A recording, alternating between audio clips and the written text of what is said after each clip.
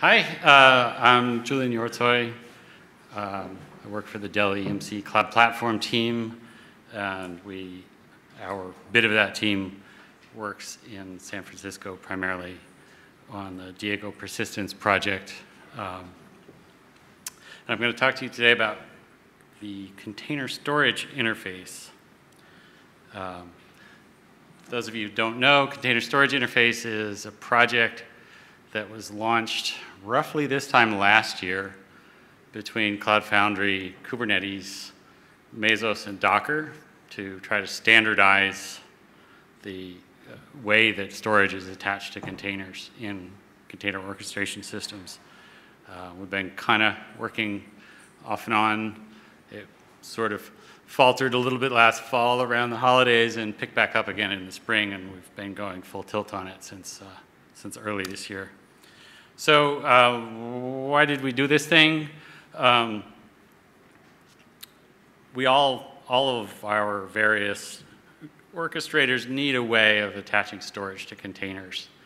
Unless your app's totally stateless, which, you know, ideally it should be if it's 12-factor app and all this, but um, sometimes it's not. So uh, essentially, we've all evolved to the point where we find we need to store some stuff in some kind of volume. Uh, likewise, storage providers have kind of sensed in the wind that all of the workloads seem to be going toward containers, and they all dearly want to be able to attach their storage to containers in places. Uh, and they don't really want to have to do that once per container orchestration system. So they don't want to have to like build the integration with Kubernetes and then turn around and make a Docker volume plugin and turn around and make a Cloud Foundry service broker and that kind of thing. And then so on and so forth.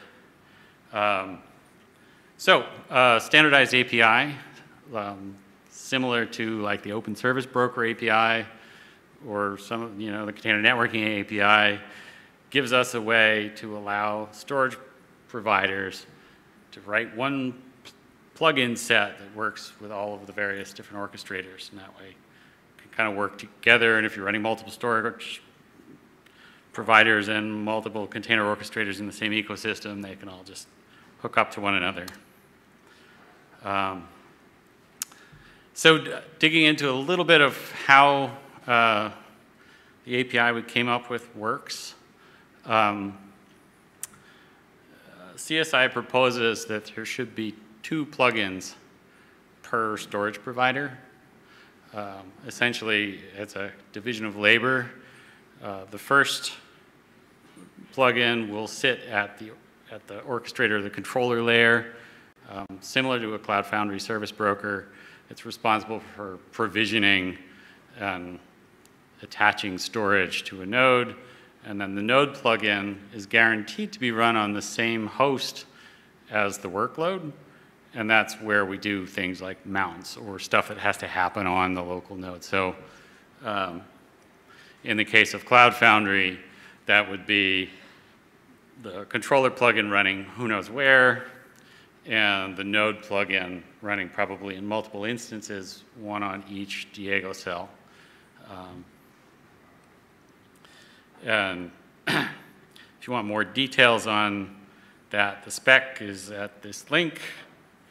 Um, so the basic kind of control flow, uh, this is quite a bit simplified. There are more, more RPC calls, but the gist is that um, the container orchestrator, you know, in our case, the cloud controller, is going to call this plugin, is going to ask it to create a volume when prompted by some user action.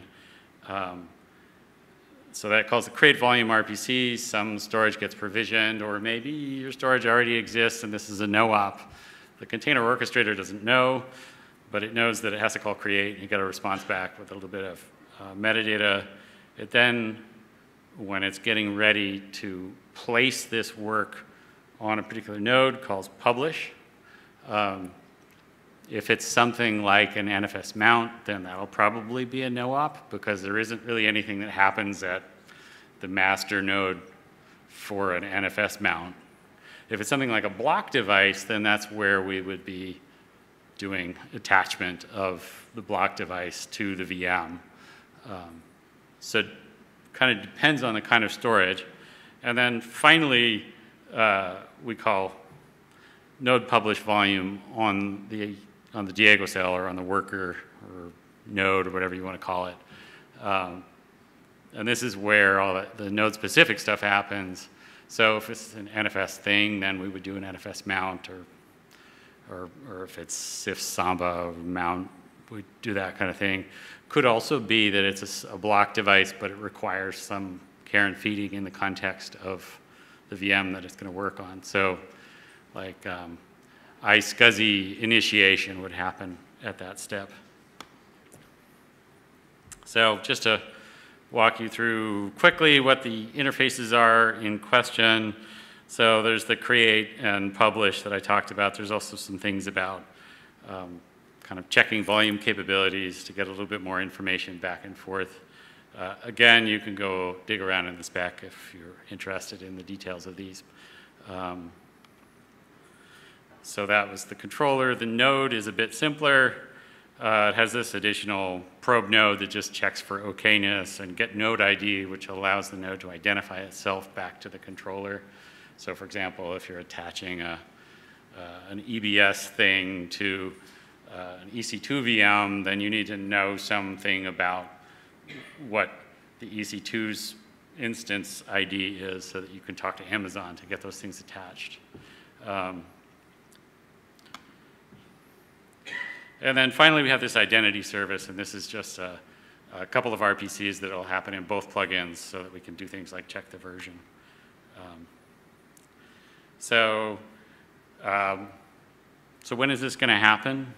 Um, Kubernetes is looking at their version 1.9, which should be around the beginning of next year for the first experimental version. Uh, I should say, since this spec is pre-alpha, it isn't yet finalized. It's still quite in flux. Um, so by the time they publish something, we'll have something a little bit more locked down or we start you know, guaranteeing backward compatibility and that kind of thing. Mesos, again, is looking at around about the end of this year. Uh, Moby, aka Docker, hasn't yet decided what version they're targeting. And in Cloud Foundry, you can have it today. Uh, in open source Cloud Foundry, we've already added a POC level uh, implementation of this feature. So if you want to go write your own CSI plugin set, and it's not a block device, um, you should be able to use it in Cloud Foundry with this, with this feature. And definitely let us know if you're going to try that because we'll be happy to do a little hand holding. Um, just some quick resources. I'll publish this um, slide deck. And uh, with that, I think I've run well over my time, so thank you.